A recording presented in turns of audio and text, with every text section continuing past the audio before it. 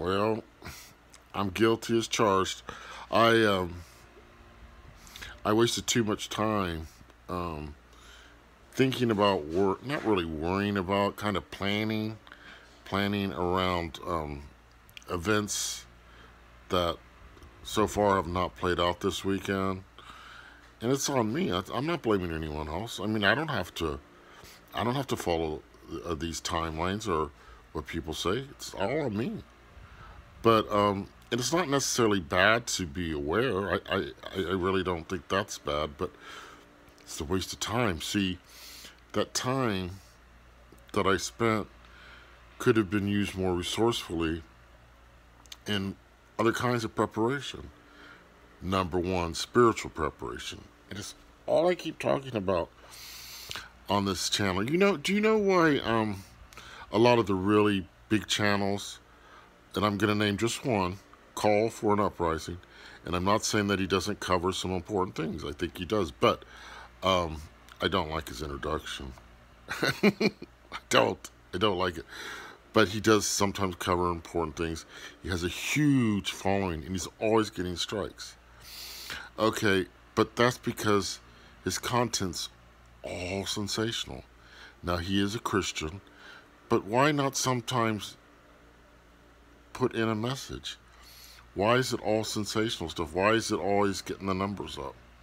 You know, that I think these people will get a lot fewer strikes if they tried to focus on the essential things because they wouldn't even see that. They would overlook it. Um, they, they just, the algorithms are, are all around the, the sensational. I, I'm sure of it. But bottom line is, I wasted time when I could be drawing, could have been drawing near to the Lord and getting my house in order, my spiritual house, cleaning house, and getting focused. See, the thing is, what happens with me, it probably does with you too, is all this information gets me off focus, you know? Okay, so it's going to happen at some point, but I keep realizing once I'm focusing, expecting things to happen, Fortunately, they don't. Fortunately, they don't. We got to be honest. Fortunately, they don't. Because it's not going to help anyone. But I'm less prepared than I was before. When I was, you know, a week ago or a couple weeks ago, totally avoiding the channels with all the the news and all the things coming. I was focused on the Lord. Then I got distracted. And you know what even happened? I fell into sin. Yeah. Because he doesn't like the Lord. The Lord is jealous. He, he wants us to pay attention to him. He really, really does. And when we don't, we start paying attention to other people and what they're, they're saying. he gets jealous. And sometimes he'll let us fall.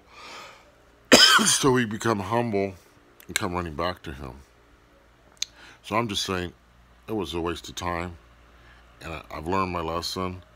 I will not go back to it. That does not mean I'm not totally aware that something can erupt at any time. But I'm kind of glad I don't know when it's going to happen for sure. Because that way I can have some peace. And like I've said just a minute ago, be close to the Lord. Where that's the only place I'm going to find refuge anyway. And that's the only place that I'm going to be safe. Not out there, you know, waiting for it to happen and looking for it to happen. It gets old, doesn't it?